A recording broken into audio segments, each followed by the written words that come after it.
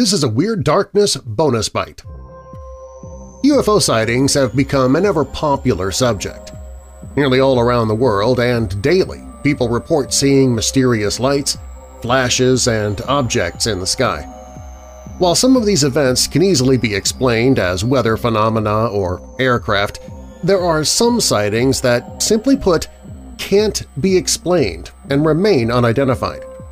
Now, a NASA scientist has called out fellow experts because they are ignoring UFO relevance in a recently published paper, which tells us that we can't possibly try to explain or deny every sighting of UFOs. Furthermore, the scientist admits that it is possible that advanced aliens have visited our planet, and we most likely never even noticed it. According to the scientist, SETI has ignored, at least officially, the potential relevance of UFO phenomena for three reasons. One, the assumption of an extremely low likelihood of interstellar travel.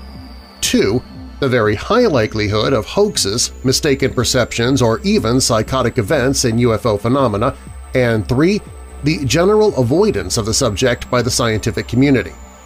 I think the approach the scientific community could take instead is very similar to what SETI has done so far. Find the signal in the noise.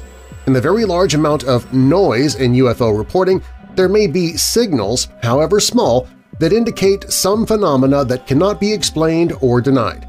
If we adopt a new set of assumptions about what forms of higher intelligence and technology we might find, some of those phenomena might fit specific hypotheses, and we could start some serious inquiry. The recently published paper by Professor Silvano P. Colombano suggests that aliens may already have visited, and they may look different from how we imagine them, which is why we probably never even noticed their visitation. They also might be able to travel vast distances across the universe and we can't comprehend their technology. I simply want to point out the fact that the intelligence we might find and that might choose to find us, if it hasn't already, might not be at all produced by carbon-based organisms like us, explained Professor Colombano of NASA's Ames Research Center. How might that change the above assumptions about interstellar travel?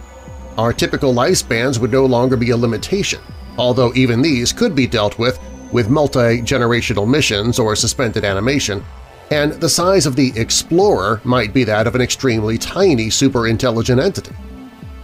To understand UFOs and the possibility of alien life, scientists need to worry less about modern human technology, because it makes it difficult for us to imagine the technology that advanced aliens may have created on planets much older than Earth.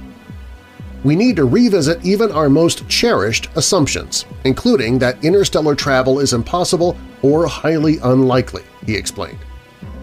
Considering further that technological development in our civilization started only about 10,000 years ago and has seen the rise of scientific methodologies only in the past 500 years, we can surmise that we might have a real problem in predicting technological evolution even for the next thousand years, let alone six million times that amount, the professor wrote in his paper titled New Assumptions to Guide SETI Research.